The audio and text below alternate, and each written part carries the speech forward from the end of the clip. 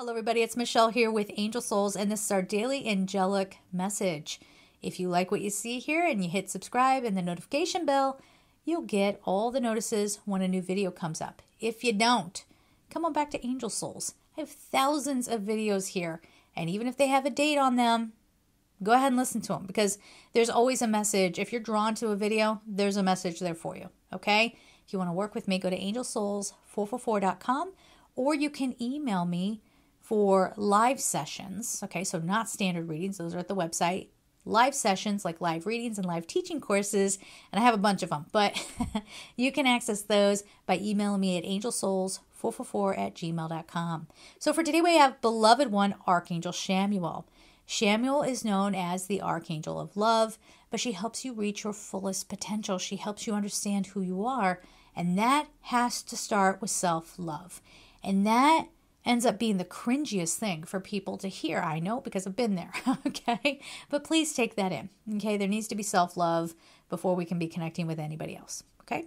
I am helping you with your spiritual soulmate relationship.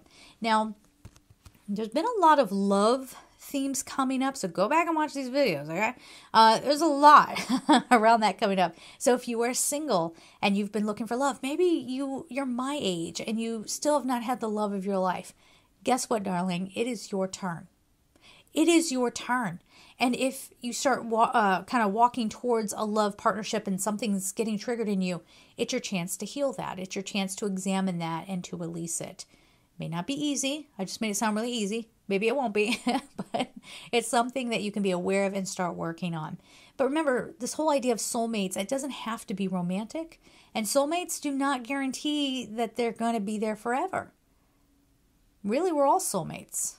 Soulmates just means that we have an agreement to meet at some point in this lifetime to teach something, to learn something, and to move on. Okay? If you have a big love lifetime, you can get a reading about that. AngelSouls444.com. I can look at your soul's contract and see if there is a big love lesson uh, within this timeline. But overall, I think for Many of you who are watching this have some appreciation for others and what they bring to us, and honor yourself for being able to offer something back. All right? We're going to leave it there. I'm sending you all so much love and take care.